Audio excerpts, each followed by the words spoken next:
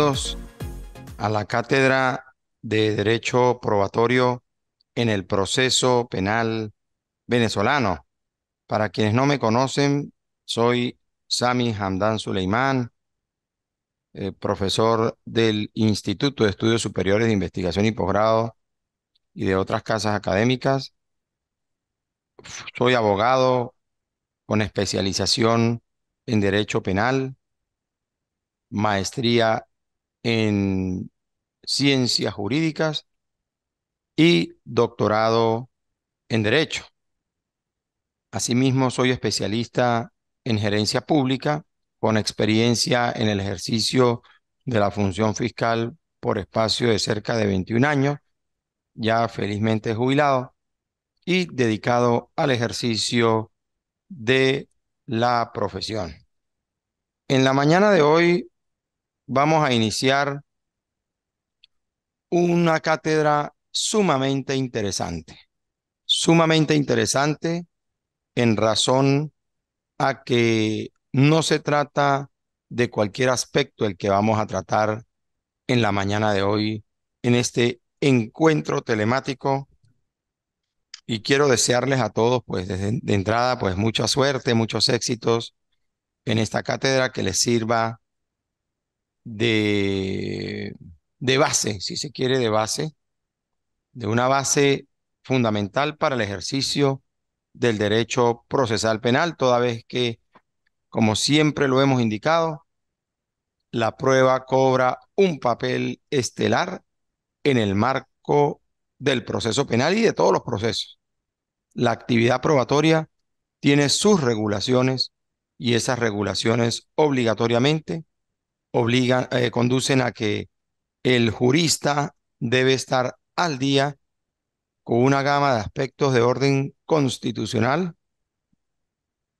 también legal, y más allá de lo constitucional y lo legal, debe estar al día con el bloque de constitucionalidad en el ámbito de los derechos fundamentales y del debido proceso del justiciable. Ahora bien, hablemos del derecho probatorio.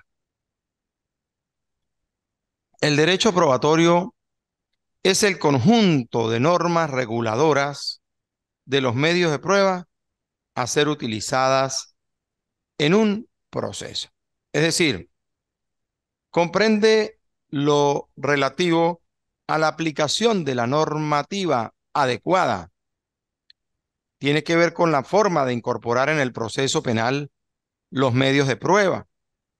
Regula también la oportunidad promocional de los medios de prueba así como la práctica y evacuación de la prueba en el contexto del juicio oral y público. Y en general, pues todo aquello que guarde seguramente relación con el tema de la actividad probatoria, con el tema de la actividad probatoria. Entonces, en ese contexto es que nosotros tenemos que entrar a considerar lo valioso que es manejar los aspectos básicos del tratamiento de la prueba en el ámbito del proceso penal como el nuestro, especialmente el nuestro que es el venezolano. La prueba tiene un carácter histórico. Yo les voy a subir el material al aula, Dios mediante el día de mañana, material de apoyo sobre la unidad 1, para que ustedes puedan reforzar el encuentro de hoy con lectura sobre puntos básicos de la unidad 1. El carácter histórico de la prueba, pues se refiere a algo que debió haber ocurrido. O sea, la prueba es para reconstruir algo que ha sucedido o que no ha sucedido también. Porque ocurre que hay muchas personas que acuden a las instancias policiales o a las instancias de órganos como el Ministerio Público a formular denuncia a señalar algunos hechos e incriminar a personas. Entonces, bueno, precisamente el carácter histórico de la prueba es reconstruir un dicho de, de algo que supuestamente ha ocurrido o que a lo mejor ni siquiera ocurrió. De allí su carácter histórico. Ahora bien, entrando en materia ya de la naturaleza propia del derecho probatorio, nosotros tenemos que entrar a considerar la existencia de cinco tesis. Hay cinco tesis, cinco corrientes, más allá de las discusiones que se han producido de la naturaleza, del derecho probatorio, de las normas jurídicas que regulan la institución de la prueba y de las variadas opiniones de doctrinarios, de doctrinarios, eh, por cierto, algunas contradictorias, otras no, hemos pasado a evaluar a modo de síntesis para hacerles digerible el material y poder suministrar las pastillas básicas al maestrante sobre el tema de la prueba, que hay cinco tesis.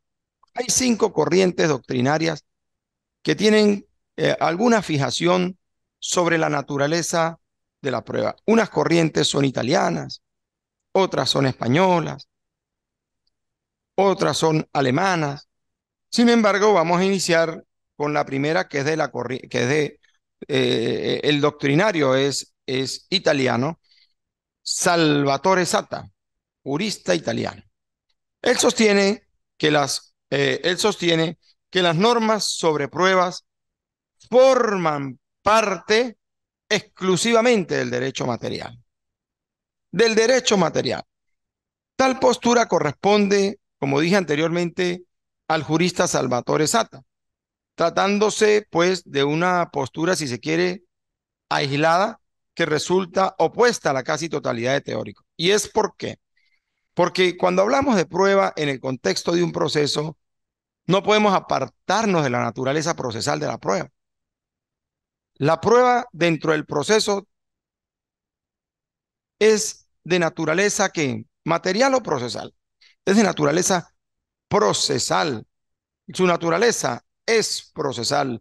Cuando nosotros queremos probar algo en el contexto de un proceso, sea penal, civil, mercantil, agrario, administrativo, bueno, la naturaleza no puede ser distinta al, al procesal, porque la actividad probatoria se da dentro del proceso.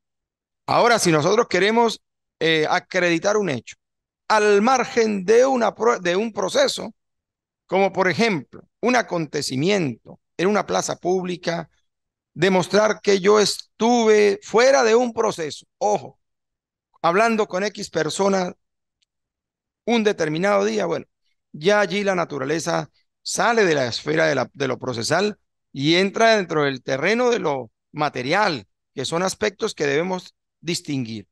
La segunda tesis considera, en todo caso, que la, naturaleza de la prueba, pues que, que las normas sobre las pruebas son de naturaleza mixta, es decir, procesal y material.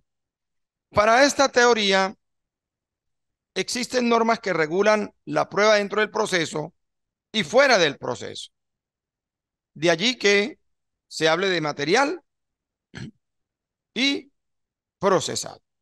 Entonces, normas que regulan la prueba fuera del proceso y para fines extraprocesal, vinculadas aquí en este punto a la adquisición, por ejemplo, de derechos sustanciales o a la existencia de situaciones jurídicas de derecho material.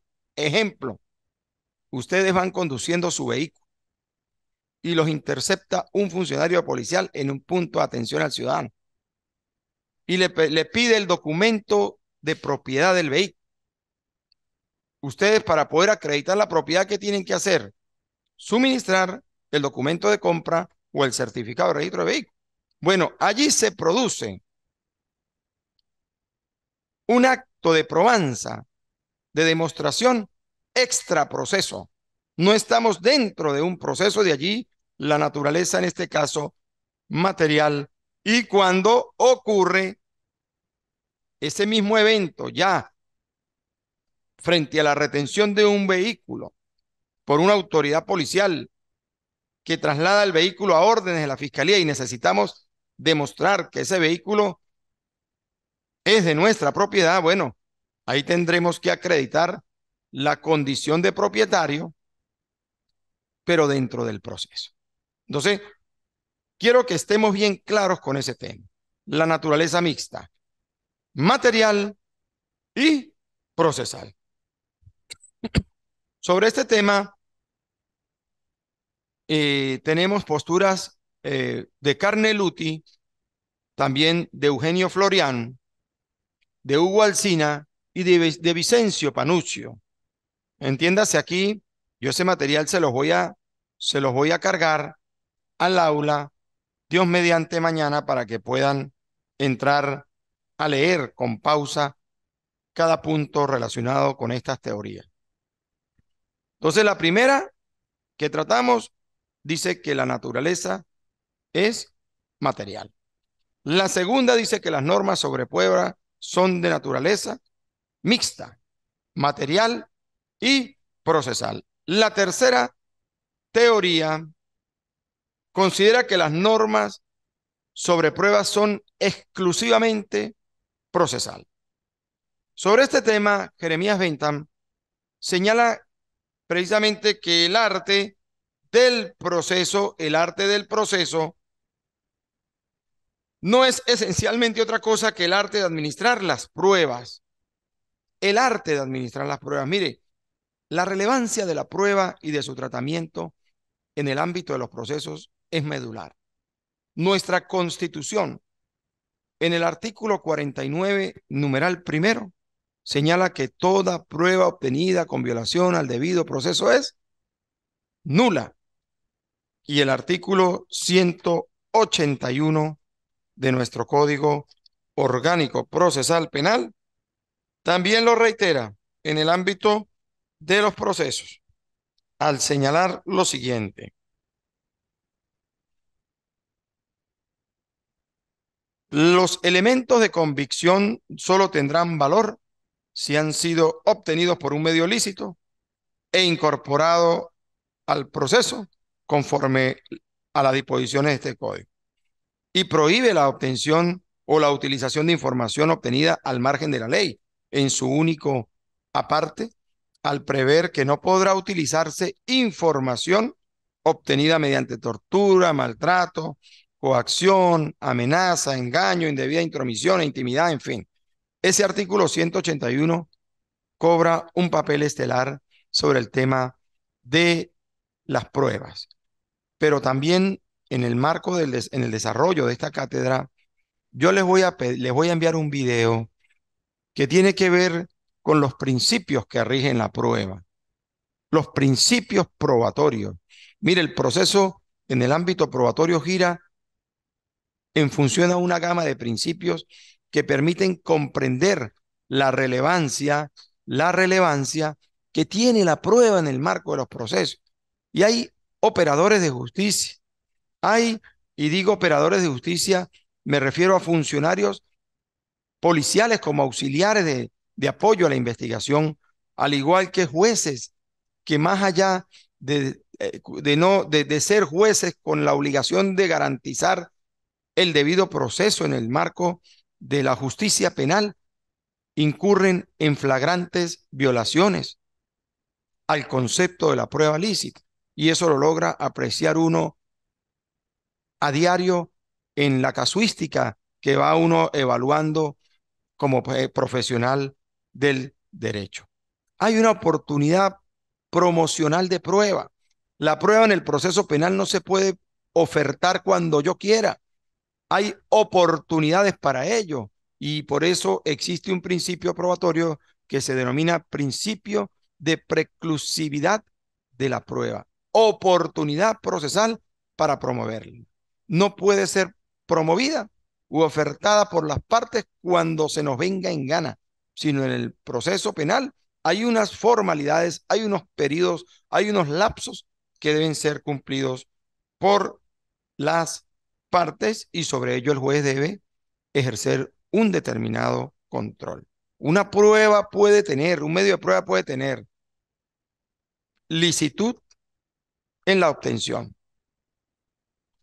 Puede tener pertinencia, idoneidad y utilidad, pero sí, desde el punto de vista de la oportunidad en que se promueve, quebranta eh, lo fijado por la norma, el juez no debe admitirla porque hay una oportunidad procesal fijada en el Código Orgánico Procesal Penal para promover los medios de prueba. ¿Estamos claros hasta aquí? Huérfano, Jorge León, Mary Vargas. ¿Estamos claros? Sí, profesor. Perfecto.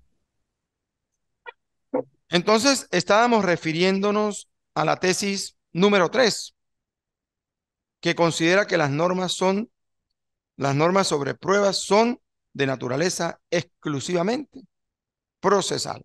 Dentro de cualquier proceso, su naturaleza siempre va a ser procesal. Tenemos la cuarta teoría. Esta cuarta teoría, eh, que está eh, amparada o comentada, diseñada por el español Jaime Guas, él afirma que las normas sobre pruebas se dividen en dos ramas. La rama procesal y la rama material. Y rechaza este doctrinario las posturas en las que ven en la prueba una operación estrictamente material o procesal. Y añade que en realidad existen dos clases de prueba, una material y una procesal o judicial en sentido estricto. Es decir, él asocia el tema prueba con los procesos, pero también es de la idea, y es muy lógico, que la naturaleza material de la prueba tiene que ver con el extraproceso. Para que algo necesite ser probado dentro de un proceso, pues obviamente va a ser necesaria la existencia de una fuente de prueba. Y la fuente de prueba precisamente tiene que ver con el extraproceso. Si se produce el robo de, en un negocio X día, una señora está dentro de una panadería y se produce el robo de la panadería. Mientras no se inicie el procedimiento penal, su existencia está, pero su oportunidad es extra proceso. Una vez que es iniciado el proceso y es llamada a rendir el relato, la entrevista como fuente de prueba, pues a partir de allí, en razón al aporte en la tarea reconstructiva del hecho que ella haga, a partir de allí la consideraremos fuente de prueba y posteriormente podrá convertirse en medio de prueba cuando el fiscal decida promoverla en el escrito acusatorio en razón al conocimiento que tiene de los hechos y que va a servir su relato para reconstruir en la etapa más garantista del procedimiento penal, como lo es el juicio, la verdad. La verdad dentro del proceso. Es una tarea reconstructiva a medias. Jamás vamos a recuperar exactamente la vivencia del hecho ocurrido en ese acto criminal, pero sí vamos a poder por lo menos recrear a través del relato y de las pruebas eh, que ha cumplido el laboratorio criminalístico y el apoyo de sala técnica policial del órgano investigador, pues la ocurrencia del hecho y la responsabilidad o no del sujeto activo del delito. Por último, tenemos la quinta tesis que dice que las normas sobre pruebas pertenecen al derecho justicial. Esta noción del derecho justicial o judicial fue delineada por el profesor Jaime Goldsmith, quien además combinó y precisó los criterios de Jelinek y Merck, asentando que solamente una materia del derecho que tenga por objeto una relación jurídica existente entre la justicia estatal y el individuo que es miembro del Estado puede considerarse como derecho justicial. Aquí nos ceñimos exclusivamente al tema del juicio, del proceso en todo caso.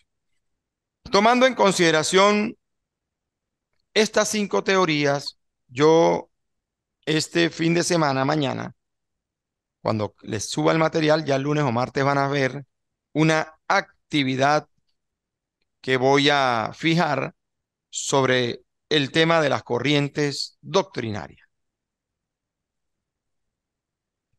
Entonces, luego de haber definido lo que es el derecho probatorio y haber revisado estas cinco corrientes a modo de síntesis, es también relevante destacar la importancia que tiene el derecho probatorio.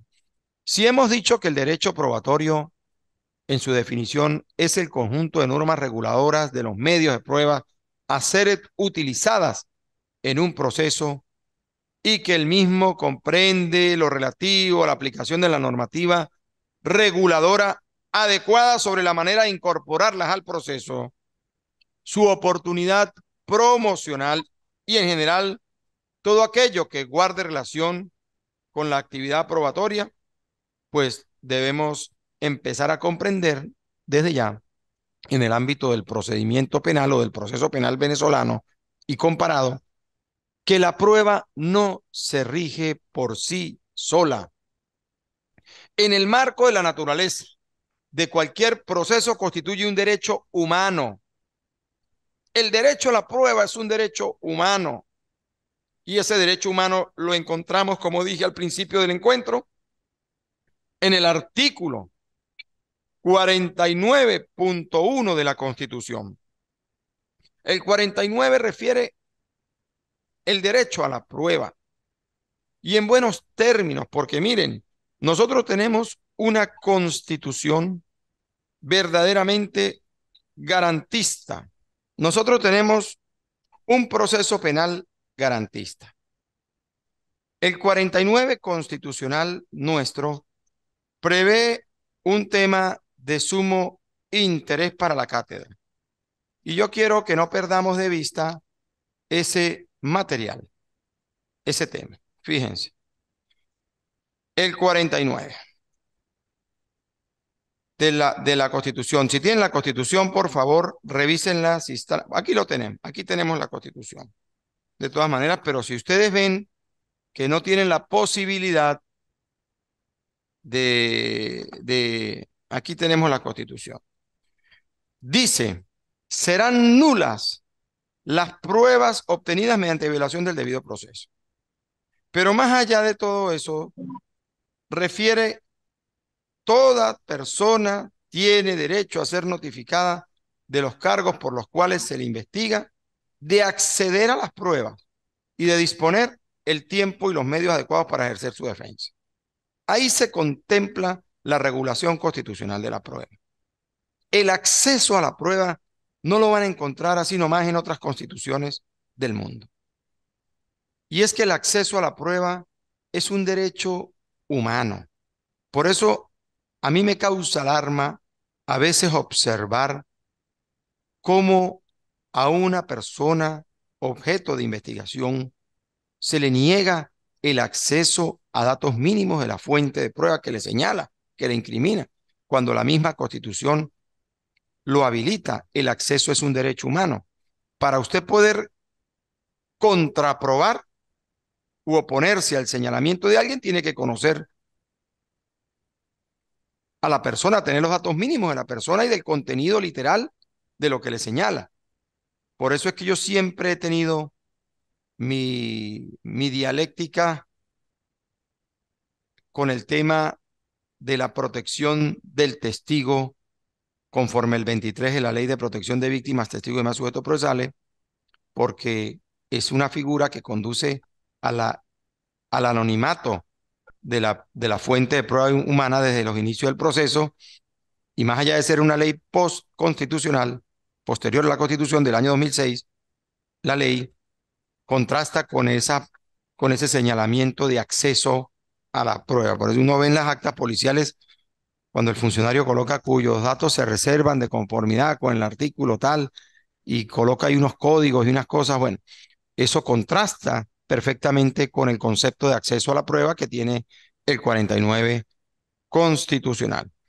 Vamos a seguir avanzando. No pierdan de vista, por favor, ese artículo 49 constitucional y el 181 del Código Orgánico Procesal Penal. No sé si hay algún comentario hasta aquí, por favor. Doctor Sami, buenos días. Sí. Doctor Sami, en la, teoría, en la segunda teoría de Carmen Luti, sí. indica que son de naturaleza mixta. Sí. El cual dice que son, son dentro y fuera del proceso. Sí. La pregunta es, ¿es válido según el artículo 49, eh, donde indica que nos indica el artículo 49 de la Constitución que pudiese, que, que, las pruebas este, pudiesen no, no, como le dijeron yo, las que no estén en el proceso no van a ser válidas. Entonces, quisiera que me aclarara ese punto. Fíjese, que si fíjese. Dentro, que si fuera, está, es inválida o no. Sí, lo que, lo que dice Carneluti es que fuera del proceso es para fines extraprocesales. Yo les puse el ejemplo hace rato a modo de ilustrarlos. el, el funcionario que los intercepta en un punto de atención al ciudadano y les pide los documentos del vehículo. Usted dice, ¿ese carro es suyo? Sí, es mío. Por favor, suministreme el documento de propiedad. Bueno, eso es un acto extraprocesal. Es un acto no propio de un proceso. Sin embargo, allí usted tiene que demostrar que es el titular del vehículo. Es decir, la demostración o el acto de probar no se da dentro del proceso en sí mismo, sino fuera de la connotación de una causa judicial. A eso se refiere exactamente la segunda teoría, como también puede darse dentro del mismo proceso. A lo mejor ese acto de probar se da dentro de un proceso y tú tienes que exactamente acreditar la condición de propietario para que en el desarrollo de un proceso penal la fiscalía proceda a entregarle su vehículo. Yo quiero que marquemos esa distinción, es decir, de él dice que la naturaleza de las normas sobre pruebas es mixta, es decir, procesal y material. Material porque hay actos de la vida diaria donde uno tiene que estar demostrando algunas cualidades o alguna condición y no necesariamente se tiene que demostrar dentro de un proceso. ¿Ok? Ok. Gracias. Mary, Jorge León, Doctor, buenos días, estamos aquí claros. Están claros. Bueno, en el material que yo les voy a subir, vamos a encontrar unos temas interesantes sobre la certeza y la prueba, la verdad y la prueba. Entonces, eh, yo quiero, por favor, que ustedes revisen bien ese material porque son aspectos verdaderamente interesantes. La verdad y la prueba y la certeza y la prueba. Nosotros, cuando hablamos de verdad, pues para alcanzar la verdad que se requiere, cumplir un proceso de búsqueda, ¿verdad? ¿Para qué?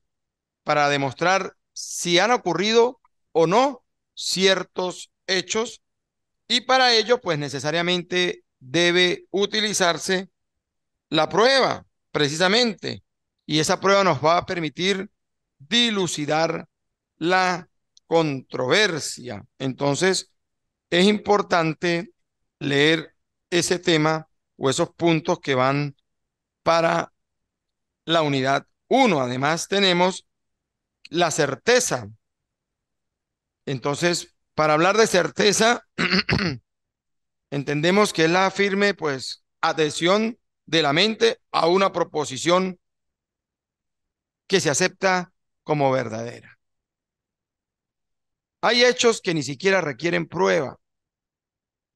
Verdaderamente no requieren prueba. Por ejemplo, en este momento, si queremos demostrar en el marco de un proceso quién es el presidente de la República, será necesario acreditar una prueba para poder demostrar ese hecho o esa cualidad o ese probar el nombre, quién es el presidente, o sea, un hecho público, notorio, comunicacional.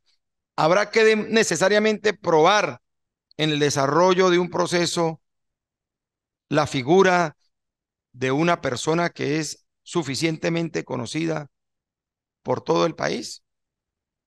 Hay aspectos verdaderamente interesantes que nos van a, a llevar a revisar los puntos de la verdad y la prueba, la certeza y la prueba. También quiero destacar que el bloque de constitucionalidad en materia de derechos humanos como el Pacto Internacional de los Derechos Civiles y Políticos, la Convención Americana sobre Derechos Humanos, prevén o contienen normas reguladoras sobre la actividad probatoria y son instrumentos que han sido ratificados por nuestro país, es decir, son ley de la República y son, es, es parte del compendio normativo transnacional que está a la par de nuestra constitución, es parte extensiva de la constitución. Nosotros en la constitución venezolana tenemos el artículo 23, donde se fija el principio pro homini. Ese artículo 23 es de interés para ustedes también. No sé si huérfano tenga ahí la constitución y podamos, por favor, verificar el contenido de ese artículo. Jesús, si tú la tienes allí. No, doctor, disculpe, no, no este tiene. León. No. Eh, sí, doctor, el 23. Sí, por favor, si puedes leer el 23. Dice los tratados, pactos y convenciones relativos a derechos humanos suscritos y ratificados por Venezuela tienen jerarquía constitucional y prevalecen en el orden interno. En la medida en que se contengan normas sobre su goce y ejercicio más favorables a la establecida en esta Constitución y en las leyes de la República. Bueno, continuamos. Fíjense cómo el artículo 23 de la Constitución nos dice que el bloque de constitucionalidad es parte de la Carta Extensiva del Mejor Derecho Aplicable.